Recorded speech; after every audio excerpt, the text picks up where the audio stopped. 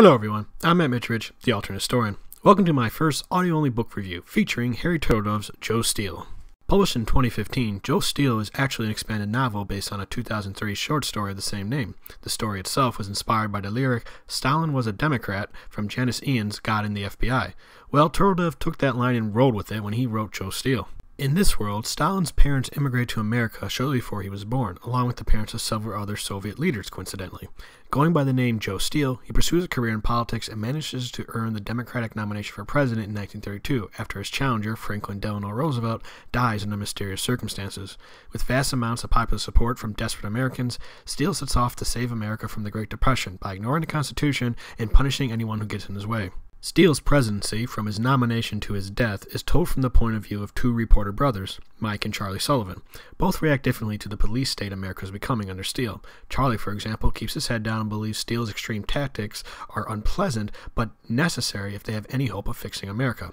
Mike, on the other hand, doesn't see any difference between Steele and other dictators like Hitler or Trotsky, who succeeded Lenin as leader of the Soviet Union in this timeline.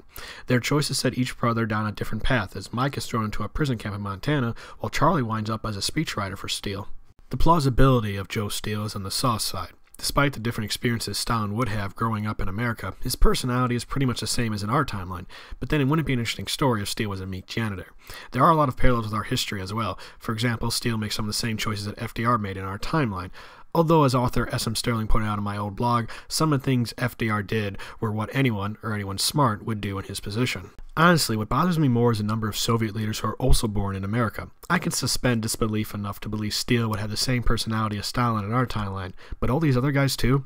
It weakens the story, and I think the novel would have had a bigger impact if Turtle found some native-born scumbags to buddy up with a dictator. Near the end of the book, you do begin to see some major changes to history. For example, there is no Manhattan Project, thus Japan is invaded by the United States and then divided between a communist North and capitalist South, much like Korea is in our timeline.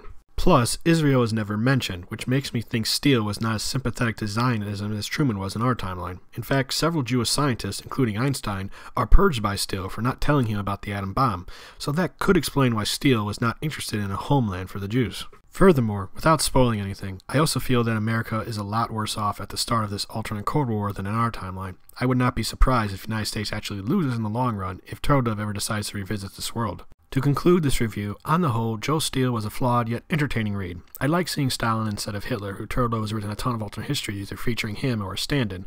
Although the book did drag in the middle, it still was a lot less flabbier than a novel of some of his long-running series, and the ending had a powerful emotional core to it, especially in this day and age. Turtledove fans, people who enjoy dystopias but want to read something besides 1984, will certainly want to pick up Joe Steele. If you guys like this, let me know in the comments, and perhaps I'll do more of these short, audio-only book reviews in the future. Well, that is all I have to say on the subject. If you like what I do, please comment, subscribe, share this video, or support me on Patreon. I'm Matt Mitrovich, the Alternate Historian. Bye.